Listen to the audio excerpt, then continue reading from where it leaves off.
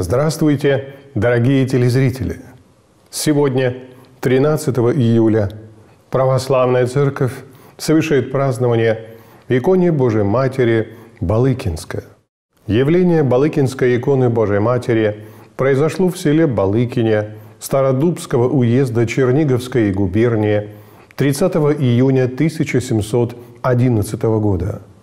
История чудотворной иконы была изложена в утерянном ныне рукописном сказании, хранившемся в храме святителя Николая в селе Балыкине.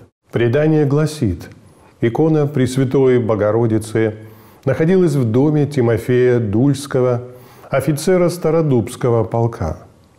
Во время войны со шведами, когда вражеские войска шли мимо города Стародуба, на иконе стали заметны слезы из глаз Божией Матери. Увидев это, Дульский дал обет поставить святую икону в храм, который где-нибудь тогда строился. В скором времени он узнал, что в селе Балыкине именно в это время возводилась церковь, и, убедившись в бедности Балыкинского прихода, обещал передать святую икону Божией Матери именно туда, но медлил с исполнением своего обета. Тогда во сне ему явилась Пресвятая Богородица и приказала немедленно передать икону в Балыкинскую церковь. Однако и после этого Дульский все еще медлил. Второй раз явилась ему во сне Пресвятая Богородица и под угрозой наказания вновь приказала отдать икону в Балыкинский храм, после чего Тимофей Дульский поспешил исполнить свое обещание и передал икону в новопостроенную деревянную церковь во имя святителя Николая в селе Балыкине. Образ прославился многочисленными исцелениями больных, которые стекались для поклонения ей не только из Черниговской, но и из соседних губерний. Незадолго до Октябрьской революции образ был сильно поврежден в результате самовозгорания, но огонь не коснулся лика Божией Матери.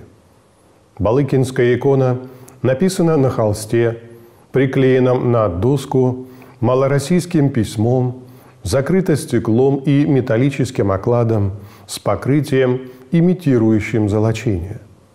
На голове Божьей Матери вместо покрова украшение, напоминающее диадему – на иконе Богородица изображена с молитвенно сложенными руками, взирающей на предвечного младенца, который лежит на ее коленях. Икона была украшена серебряной вызолоченной ризой с надписью 1811 года, июня 24 каштом графини Анны Ивановны Безбородко переделана и вызлощена – Иконография Балыкинской иконы восходит к западным образцам, иконам Рождества Христова и поклонения волхвов. Богородица нередко изображалась колено преклоненно, с прижатыми к груди руками перед лежащим в яслях богомладенцем.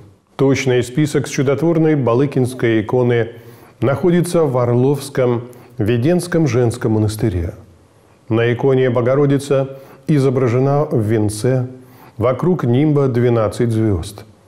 Как гласит предание, чудотворный образ попал в обитель в 1712 году как благословение святителя Иоанна Максимовича, архиепископа Черниговского, и не раз являл заступничество Божией Матери, обращающимся к ней за помощью. Эта икона также прославилась исцелениями младенцев и бесноватой женщины в 1858 году. Чудеса, происходившие от списка иконы Богоматери, записывались в монастыре. Чудотворная Балыкинская икона Пресвятой Богородицы, находящаяся в городе Орле, более известна, чем первообраз из села Балыкина.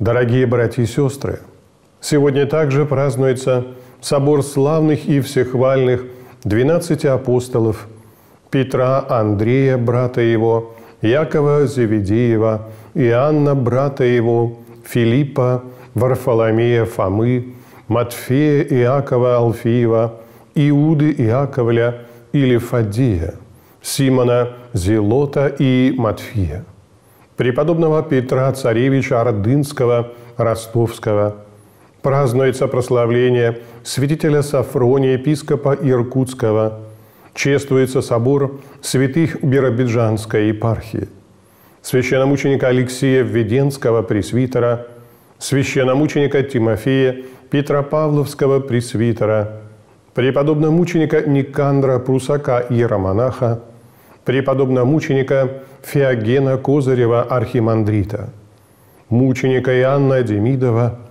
совершается празднование иконе Божьей Матери Горбаневская. Всех, кто носит имена святых, прославляемых Церковью сегодня, я сердечно и тепло поздравляю с днем тизаименитства. Будьте Богом хранимы и Его причистой Матерью, многое вам и благая лето.